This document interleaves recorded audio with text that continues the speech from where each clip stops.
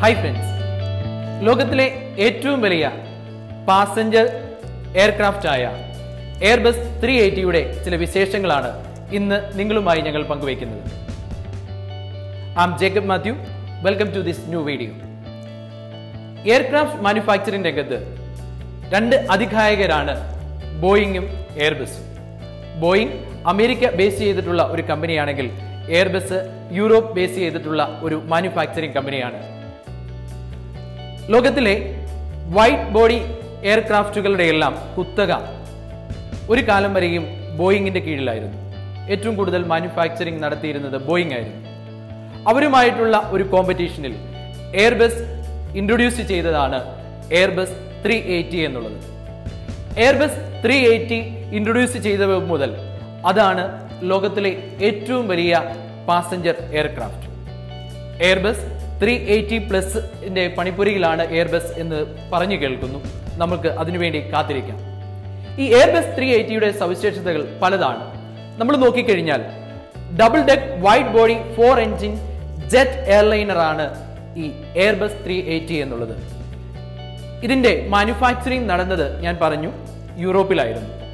അതിന്റെ എൻജിൻ പാർട്സും വിങ്സിന്റെ പാർട്സും എല്ലാം മാനുഫാക്ചറിങ് നടന്നത് ബ്രിട്ടനിലായിരുന്നുവെങ്കിൽ അതിന്റെ ഫ്യൂസിലേജ് അതിന്റെ ടെയിൽ ഇതൊക്കെ മാനുഫാക്ചറിങ് നടന്നത് സ്പെയിനിലും ജർമ്മനിയിലുമായിരുന്നു. ഇവിടെ നിന്ന് രണ്ടിടത്തു നിന്നും ഇത് കപ്പൽ മാർഗവും റോഡ് മാർഗവും റെയിൽ മാർഗവും ഒക്കെ ഫ്രാൻസിലെത്തിക്കുകയും അവിടെ വെച്ച് ഇത് അസംബിൾ ചെയ്യുകയുമാണ് ചെയ്തത്.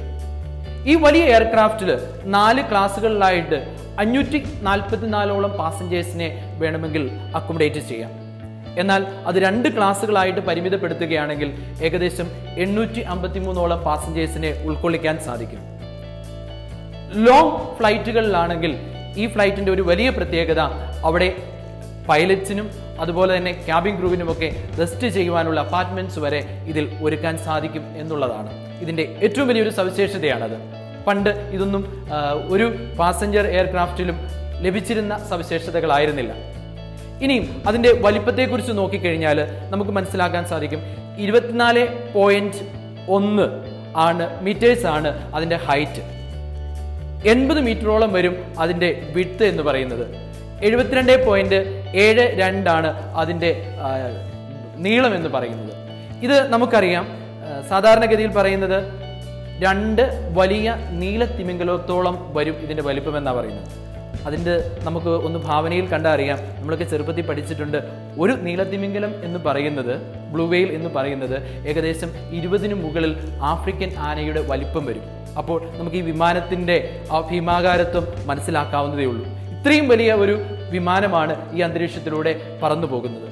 എന്നാൽ നമ്മൾ മനസ്സിലാക്കേണ്ട ഒരു കാര്യം വലിയ ഇതേ സെഗ്മെന്റിലുള്ള മറ്റ് എയർക്രാഫ്റ്റുകളുമായി കമ്പയർ ചെയ്യുമ്പോൾ പതിനേഴ് ശതമാനം ഈ എമിഷൻ ഇതിനകത്ത് കുറവാണ് വരുന്നത്.